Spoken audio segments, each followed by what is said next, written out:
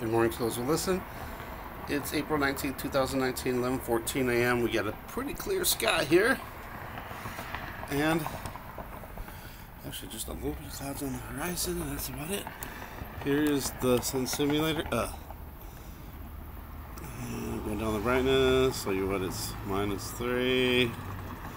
Shape looks a little funny today. Back up to default.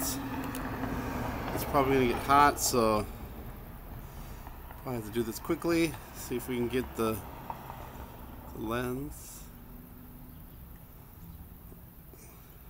Uh, it? There it is. There's the lens.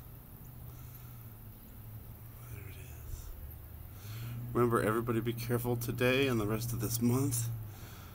I don't think it's going to affect everybody, but there it is. Alright, thanks for watching. Thanks for subscribing. God bless.